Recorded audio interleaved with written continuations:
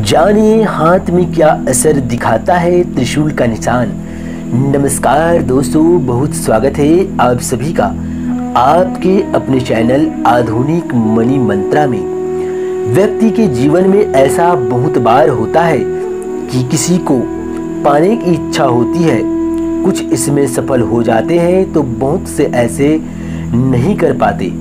वैसे माना जाता है कि प्यार की रेखा हाथ में ही दर्ज रहते हैं।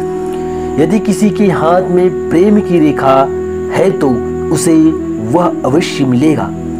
व्यक्ति की हथेली में कुछ ऐसे रेखाएँ और निशान होते हैं। हथेली पर ये रेखाएँ और निशान व्यक्ति के बारे में बहुत कुछ बयां करती है। साथ ही उनके भविष्य का भी इशारा भी करती है। इसमें से एक निशान है त्रिशूल।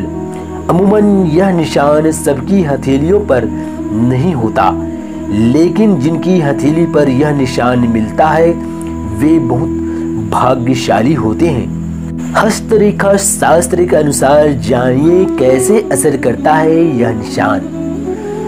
चंद्र पर्वत पर त्रिशूल व्यक्ति को कल्पनाशील और रचनात्मक बनाता है। ऐसे व्यक्ति रोमांटिक प्रकृति के होते हैं। दिल की रेखा के अंत में त्रिशूल भाग्य की निशानी है। विशेष रूप से जब यदि वह बृहस्पति पर्वत के नीचे है, ऐसे लोग अन्य लोगों की तुलना में शारीरिक, मानसिक और भावनात्मक रूप से ज़्यादा मज़बूत होते हैं। पैसे वाले लोगों के हाथ में यह निशान देखा जा सकता है। यदि शुक्र पर्वत पर त्रिशूल का निशान है इसका मतलब है कि वह व्यक्ति जीवन में सच्चा प्यार प्राप्त करता है। ऐसे व्यक्ति दूसरों की भावनाओं को समझता है और अच्छे कामों की प्रशंसा भी करता है। मंगल पर्वत पर त्रिशूल का मतलब है कि व्यक्ति को बहुत देर और कड़ी मेहनत के बाद उसे बहुत सारा धन मिलेगा।